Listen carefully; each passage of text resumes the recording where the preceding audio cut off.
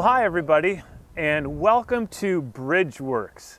This is a series of videos and small group discussions in the book of Romans. And these lessons are intended to accompany the This Is Us message series that we're doing here at First Reformed Church in Orange City. Well, I'm here in front of a bridge just outside of Alton here in Sioux County because in my mind, the book of Romans is a book about building bridges. You know, today we take bridges for granted. We drive over bridges all the time in our cars and trucks. But in the ancient world, crossings like this one would have been a big challenge to travelers. There were many river crossings and canyon crossings. There were great gorges across which people and food and water had to be brought. And all of these presented significant puzzles and challenges to people in the distant past. Well, help came with the Romans. The Romans were master bridge builders. At latest count, archaeologists have identified 931 Roman built bridges. These are in 23 different countries and three continents.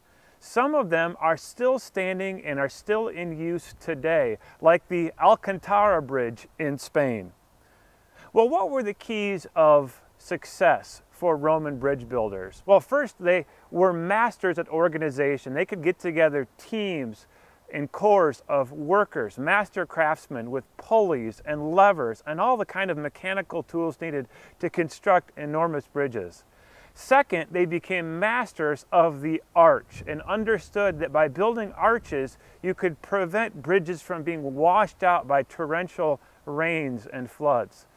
And lastly, they understood how to pour concrete underwater. They developed a special kind of cement that could be used to pour piers beneath the surface of the water.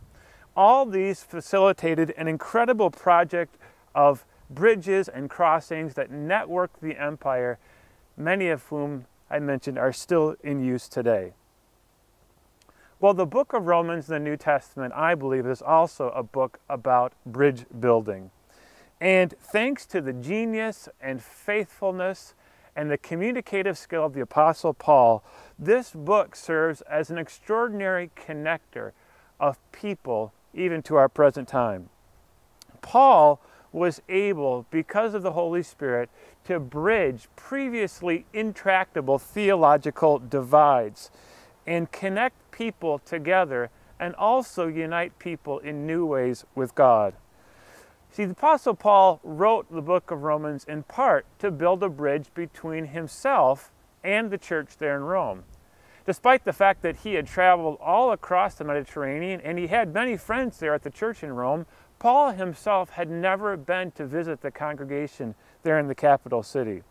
And part of his vision was to bring the gospel to the very ends of the Mediterranean world, to go all the way to Spain, and in order to do that, Paul needed to build a bridge himself into the West. And so he wrote this letter as a way of bridging his relationship with the congregations that had been meeting there in that city.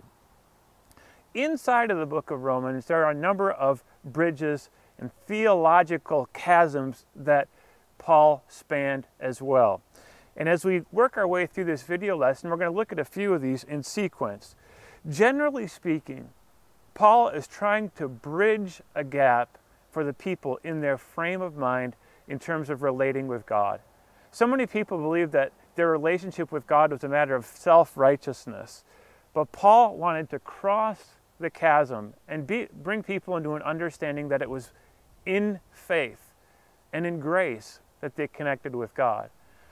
Beneath that, there are kind of five bullet points, five smaller bridges that we'll, we'll talk about crossing together.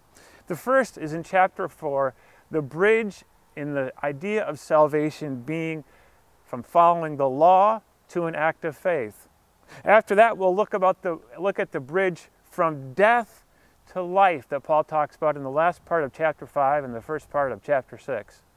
In the third lesson together, we'll talk about the bridge that Paul made from a, a them mindset to an us mindset, as Paul talked about how Gentiles and Jews could live together in one congregation faithful to God. The fourth lesson, which is taken from chapter 12, is the bridge from concept to conduct, in which Paul moves from thinking about the theological underpinnings of a relationship to God into what it means to live practically as people together and to speak well, to think well, to relate well, and to live well in the world around them.